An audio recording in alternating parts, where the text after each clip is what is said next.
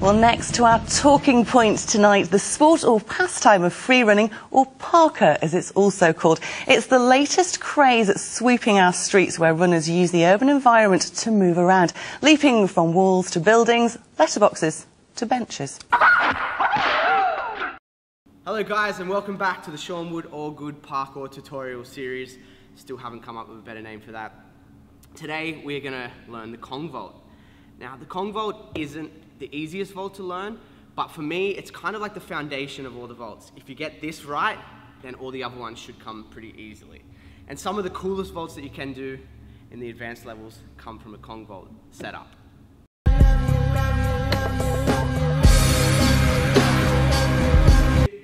It's a bit of a scary one to commit to, but I'll show you two techniques. I'll show you two techniques that hopefully will make it a bit easier to learn. Let's get to it. The Kong Vault is very useful for overcoming these types of obstacles. So if you were running, getting chased by that lion again, and you had this obstacle in front of you, you'd be able to come through and pass through in a safe and controlled manner.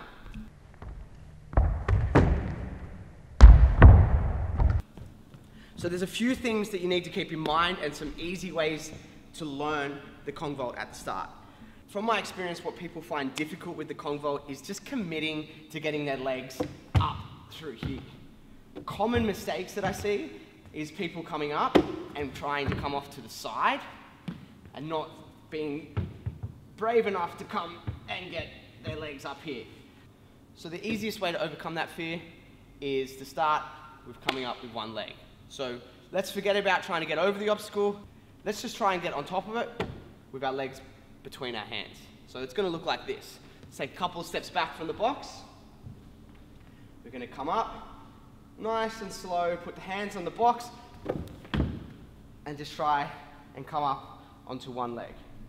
That's the first move that we're going to try and master. Once we've done this a couple of times and we feel safe, we're going to try and commit to doing the same thing, but with two legs. Ready? Up. So, first one is with one leg, second one is with two legs. Once you've mastered coming with two legs and you're not going up and off to the side, boom, like that, we're going to try two legs again, but edging down the box slightly further. So instead of landing right on the edge, we'll try and land a little bit further along the box. So they look like this up to the box. Now we're a little bit further along the box. Now by this point you're starting to feel the Kong Vault, starting to feel what the movement feels like.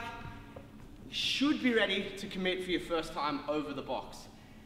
Still at the moment we're not too worried about foot placement, we're just worried about getting our chest up and over the box and our legs over it. So it's look like this. Here, And there we go. That should be the first time that you've gotten over the box with the Kong Vault. Okay. Oh! Okay. Oh! Alrighty, now that you're a Kong Vault master and you're confident getting over the box and you've broken through that fear, which I feel is about 80% of the Kong Vault is actually just getting over the box in the first place. Can be quite scary for some people. Now we want to start thinking a little bit about our foot placement. And there's a reason for this, and that comes into when we start getting a bit more advanced at this movement, we want to be able to get some distance on it. That leads into some other moves like the Kong Precision, where you're trying to go for distance. So what that means is we naturally, a lot of the time, when we start this vault, we try and take off with two feet.